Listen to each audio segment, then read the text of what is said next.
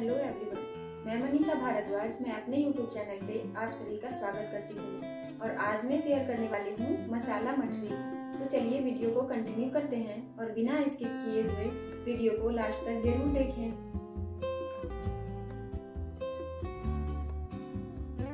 मसाला मठरी बनाने के लिए हमें इन सारी सामग्री की आवश्यकता है। मैदा, बेसन ब्लैक पेपर हींग, अजवाइन, तेल, लाल मिर्ची पाउडर, गरम मसाला नमक, चाट मसाला, धनिया पाउडर, हल्दी पाउडर। और हम इसके लिए एक डो तैयार कर लेते हैं, जिसके लिए सबसे पहले हम मैदा लेंगे। अजवाइन, नमक,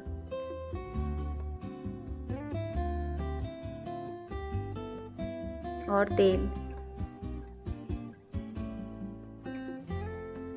इन सभी को हम अच्छी तरह से मिक्स कर लेते हैं।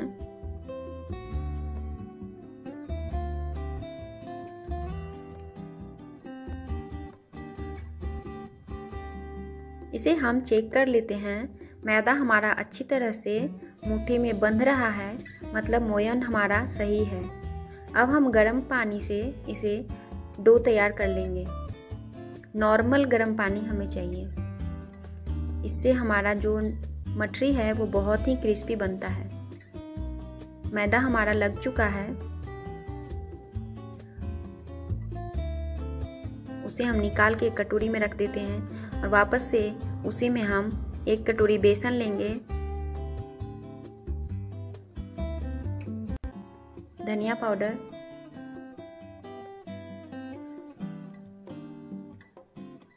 चाट मसाला। नमक। हल्दी पाउडर, लाल मिर्ची पाउडर, अजवाइन। अजवाइन को हम हाथ से क्रश करके डालते हैं। गरम मसाला। अब हम इन सभी को अच्छी तरह से मिक्स कर लेते हैं। तेल। इसे भी हम अच्छी तरह से मिक्स कर लेंगे।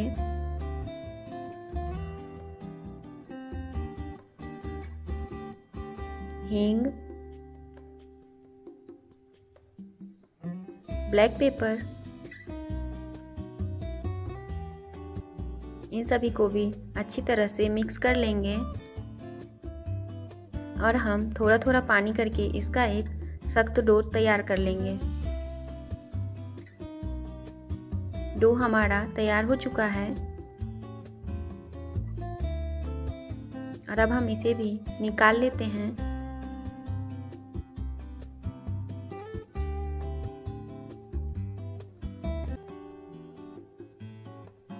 अब हम मैदा को लेंगे और इसे गोल शेप में कर लेंगे।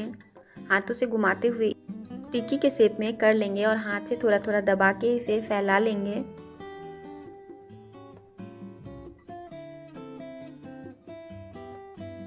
आप इस रेसिपी को एक बार ज़रूर ट्राई करें और कमेंट सेक्शन में कमेंट करके बताएँ कि आपको ये रेसिपी कैसा लगा। अब हम इसके ऊपर पानी लगा देते हैं ताकि बेसन का जो हम डो डालेंगे वो अच्छी तरह से इसमें चिपक जाए। अब हम बेसन को भी लेंगे और इसे अच्छी तरह से मसल मसल के इसे भी हम गोल टिक्की के शेप में कर लेंगे।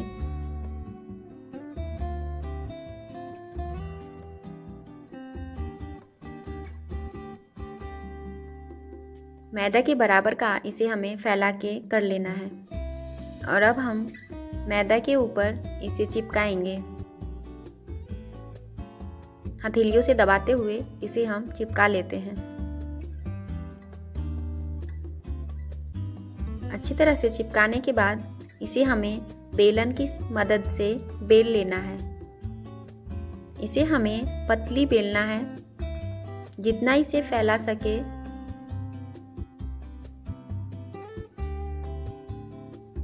इसे हमने बेल लिया है। इसका थिकनेस हमें ऐसा रखना है। और अब हम इसके ऊपर पानी लगा के इसका एक रोल तैयार कर लेंगे। एक साइड से इसे हमें थोड़ा थोड़ा उठाते हुए और दोनों किनारों से दबाते हुए, अच्छी तरह से दबाते हुए और हम इसे फोल्ड कर लेंगे। दोनों हाथों से दबाना है और इसे फोल्ड करते रहना है। पानी जो हमने लगाया है, उसकी वजह से ये अच्छी तरह से चिपक जाता है, लेकिन हाथों से इसे हमें अच्छी तरह से दबाना है। और अब हम इसे रोल करके इसे हम फैला लेते हैं। दोनों हाथों से दबाते हुए और अब हम इसे फैला लेंगे। इसे हमें ज़्यादा मोटा नहीं रखना है।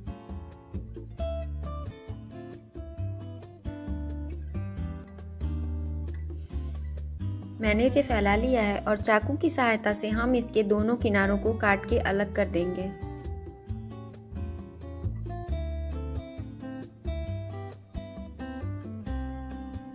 और बाकी को हम पीस में काट लेते हैं। इसे हमें ज़्यादा मोटा नहीं रखना है। हमें इसकी मोटाई आधी इंच रखनी है। और देखिए इसका डिज़ाइन कितना अच्छा लग रहा है। मैंने सारे पीसेस को कट कर लिया है। आप चाहें तो इसे ऐसे भी फ्राई कर सकते हैं। या तो हथेलियों से दबा के थोड़ा सा इसे पतला कर दें। या तो इसे बेलन की मदद से हल्का हल्का बेल दें। आप इसमें से तीनों में से कोई भी स्टेप को कर सकते हैं। अब हम गैस पे एक पैन को चढ़ा दिए हैं। पैन हमारा गर्म हो चुका है और अब हम इसमें तेल को डाल देते हैं।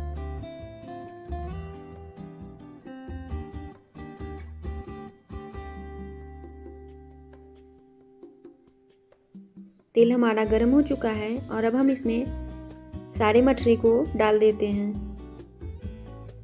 तेल को हमें मीडियम ही गर्म करना है और स्लो को लो रखना है।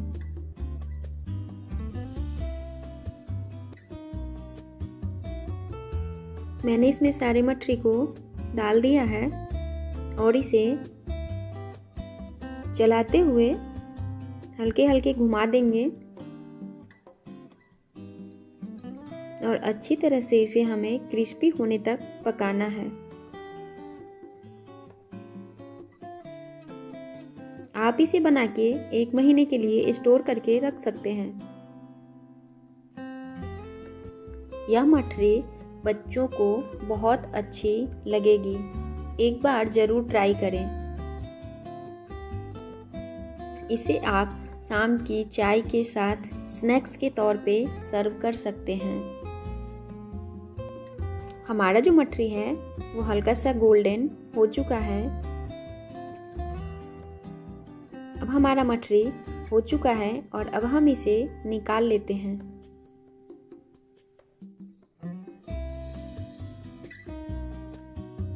हमारा सारा मसाला मटरी फ्राई हो चुका है और अगर आपको ये रेसिपी अच्छी लगी हो तो please like share and subscribe करना ना भूलें। Thank you